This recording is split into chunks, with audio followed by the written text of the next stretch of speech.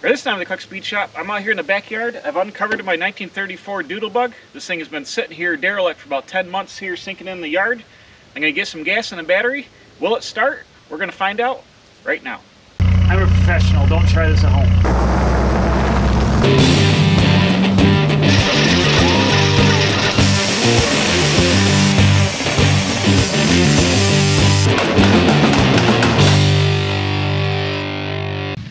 Bam, here we go.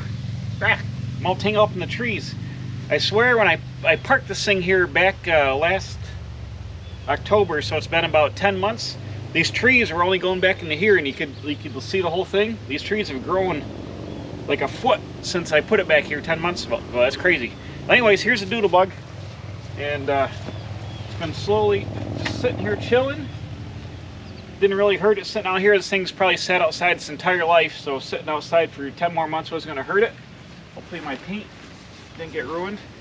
So we're going to go ahead, uh, let's uncover this. I'll get the battery out, get the gas out. It should fire right up, but you never know how this stuff's going to be. We'll see, we'll find out. Let me take you around back and I'll pull the tarp and stuff off it.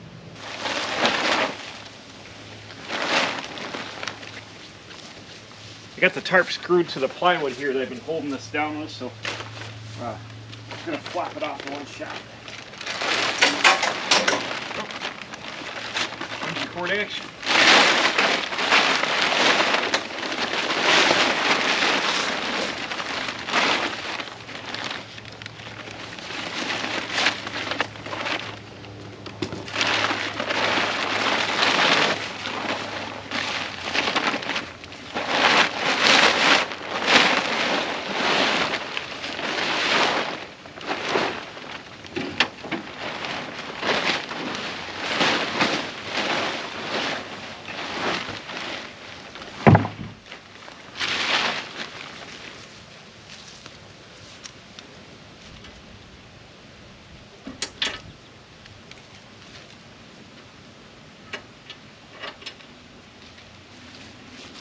Just so you know, the Harbor Freight bungee cords only last about 10 months out in the weather before they get completely shot. Oh, everything's still here. Perfect.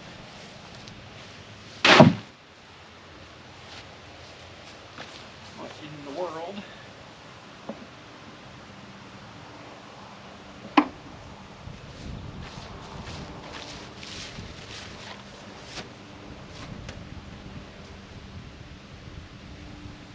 Ta-da!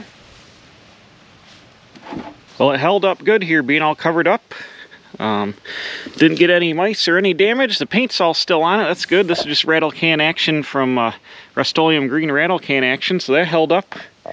I'm sure it's out of gas. Oh, there's a little in there. I don't know. That's the gas gauge right there on a Model A. Let's take a look at the engine. It's also here, there's yeah, there's some gas in the fuel but I think I gotta add some more gas to the tank. It's sitting here. I planned ahead for storing this thing. Um, I welded a metal screen in the exhaust so no mice can get in the exhaust because that's what ruined the old engine. The choke is closed, so there shouldn't be any critters in anywhere. Everything looks good on here.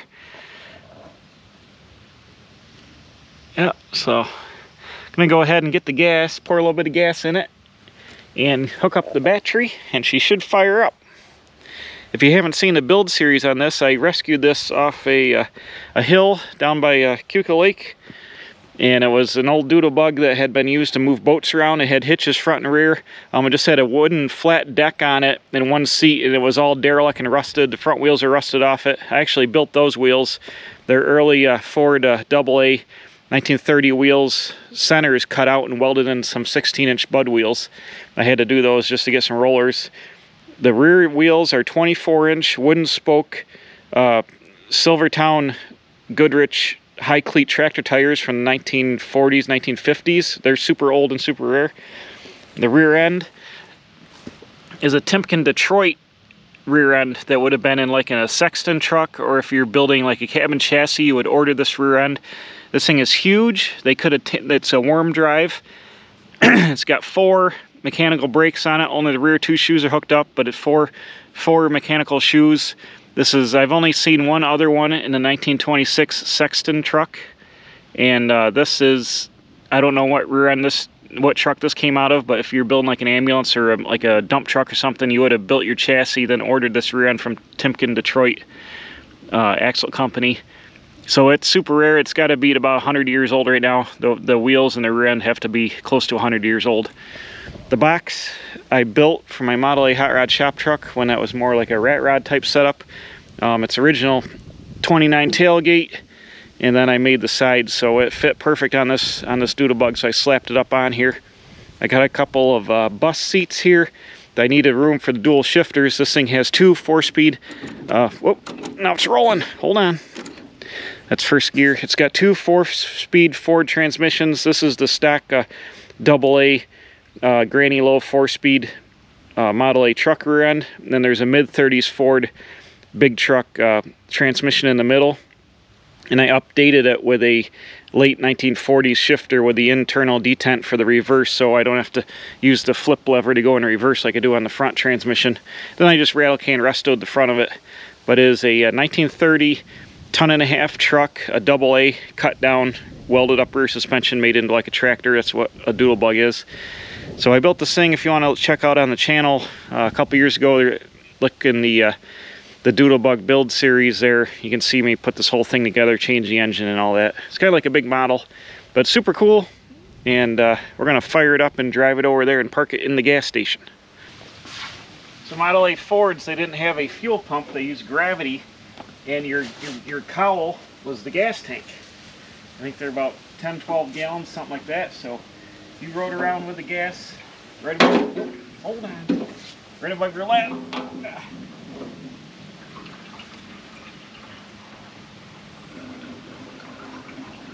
which actually I'm not too worried about it. Like if I had a stock Model A Ford, it's a pretty safe spot for the gas tank actually, as long as it doesn't rupture. But you think about it, it's way up in the air in the middle of the car, and it's out of a collision zone for a lot of places.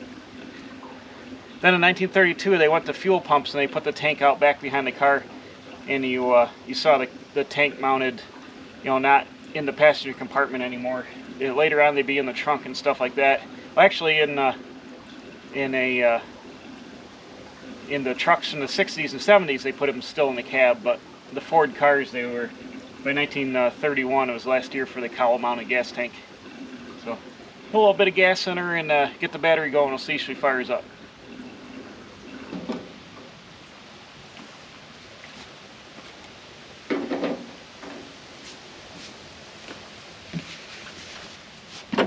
Well, we got her gassed up there Here's a little bit, I don't know if the gauge is going to move, but put like a gallon or two in there. Now watch here, this uh, fuel bowl, um, there's a fuel shut off here on the bottom of the tank. When I open that, it, it will let fuel into the fuel bowl. Ready? Here we go. Aha! Bam!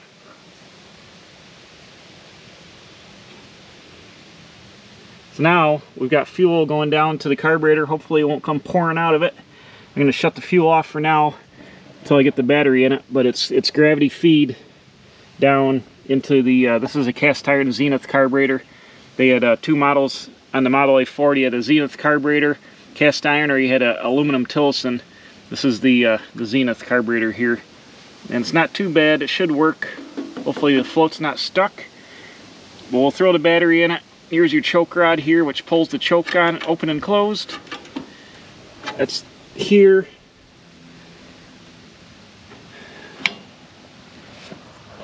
And uh, you've got your starter button over here that you push down to operate the starter. Here's your throttle, clutch and brake, like a standard. The Ford, the Model A's are the first year for the standard style transmission. The Model T Fords had a planetary with three pedals, but this is the, the modern style setup here. So she should be all ready to go. I'll get the battery. I can't remember if I charge it, so I got charging for a minute here. I'm gonna charge that up and uh, slap it in the back. I'm spinning the starter on 12 volts, but then I have a ballast resistor to knock it down to six because these uh, Model A Fords, and I think all Fords up to like 1954 maybe, were uh, uh, six volt positive ground, which meant the positive turbo went to the ground as just the battery, um, what do you call it, was backwards. The polarity was backwards. But you can run this. I'm, I'm spinning the starter on 12 for a short little burst, it's fine.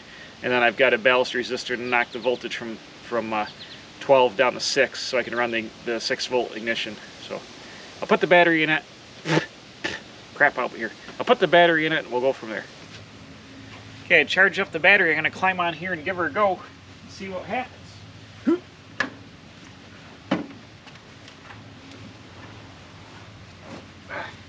Nice. Put that transmission in second. This guy neutral. Turn ignition on. Turn my fuel on.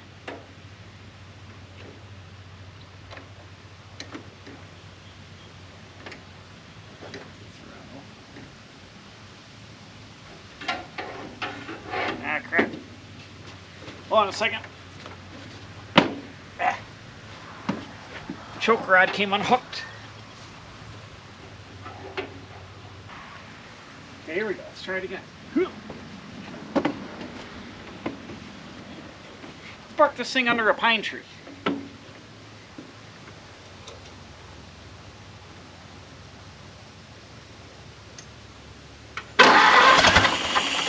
Oh, she fired already. Here we go.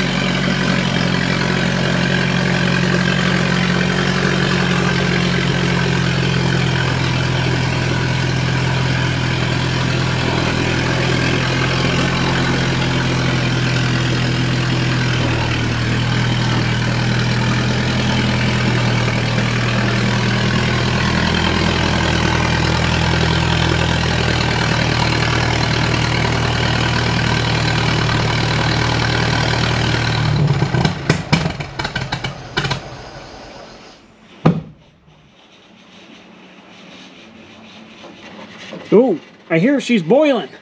Oh no, not good. She's a boiling. Woo! Well, I had this problem before. This thing, uh, either the water pump is shot or the radiator is plugged up. It, I can't run it very long or it gets hot. And uh, she's starting to boil over right now. Here she goes. Well, at least I got it in here under cover now. Yeah, it's puking out the overflow down there. It's boiling under the cap here. I got her hot. That's not good. Whew. I got I never rebuilt the water pump when I did it. I uh, you can get the rebuild kits for those. I uh, I don't made the impellers bad. I got to put a water pump in it, but she she's definitely boiling. I hear it. hear it?